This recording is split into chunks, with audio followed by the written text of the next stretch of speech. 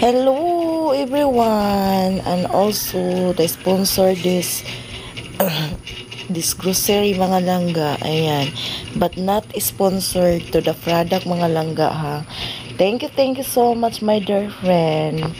You give me a blessings today and I will buy any any needs of my family in he, in my house. So ayan thank you thank you so much ayan I'm so happy because I have uh, mini groceries ayan it is biscuit ayan meron tayong milk ayan bumili tayo ng milk so ayan merong biscuit merong milk tapos Meron din coffee, coffee.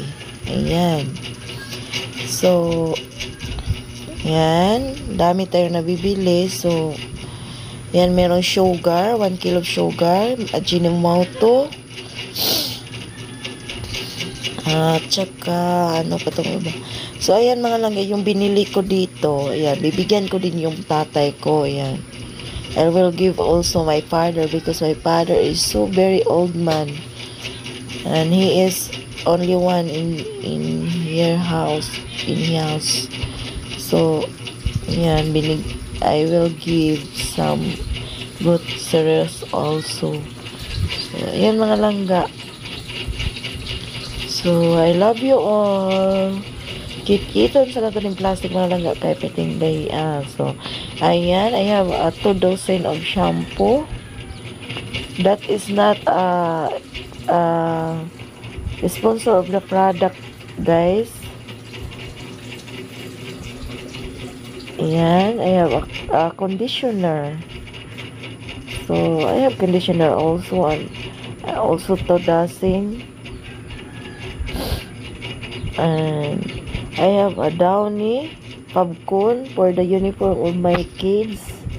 And also I have a soap for bath. And also, I have uh, two soap for me. Yeah. For me, ayan, thank you so much. Also, I have uh, sanitizer.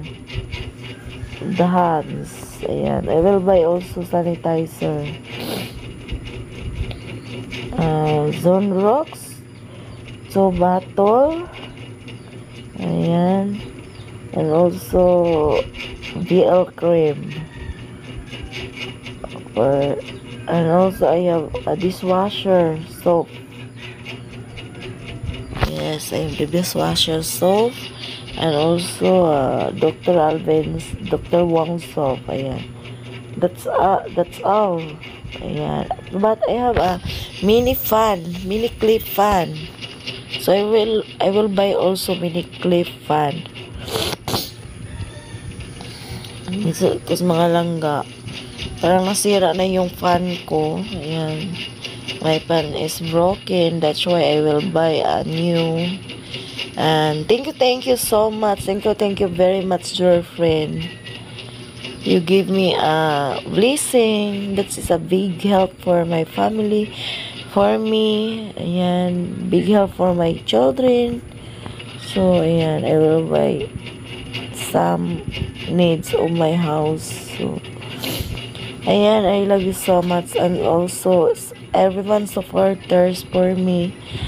Thank you, thank you so much. Ayan, pasensya kayo sa English ko dahil ano lang, binayabas lang to or kinamatis para lang medyo maintindihan tayo sa mga viewers.